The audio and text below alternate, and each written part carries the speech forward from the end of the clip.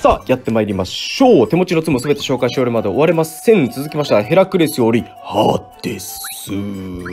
なんだか悪そうな顔をしてるやつですね。ヘラクレスって一回見たことあるような、ないようなっていうところだったんですね。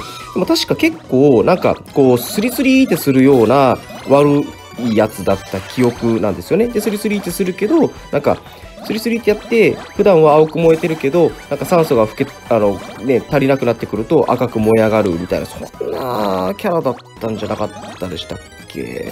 なんかそんな気がするんですよね。どんな積むほら燃えた。で十字架に消す。わお同じ十字架で消す、まあ、クロス状に消すってなってもあれですね。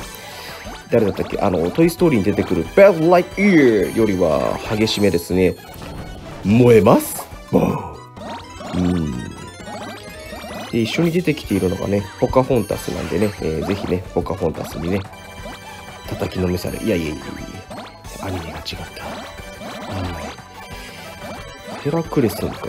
ヘラクレスといったらなんかもうね、今言ったね、ヘラクレスンが思い浮かびますけどね、それもアニメが違う漫画だって感じますよね。でもすごいな、M サイズで25個か、まあまあなサイズかもしれないですね。うん。えっと、ててれてててさあ、行きましょう。燃やします。おお、27個。まあ、ビッグツムをね。でちなみに、あの、この今さ、出てきてるポカホンタスのやつとかささっき出てきてたでっかいやつとかってさ、これな、何ツムっていうの？ビッグツムっていうの？それともデカツム何ツムっていうんだろうね。なんかね、1個で5個分のツムですよね。これな、何ツムっていうんだろうな。わかんないけど。まあ、なんか、いいよね。こう絶対にボンも出してくれる大きさになりますもんね。あ、大きさじゃない、数になりますもんね。はい。じゃあ行きましょう。うん。い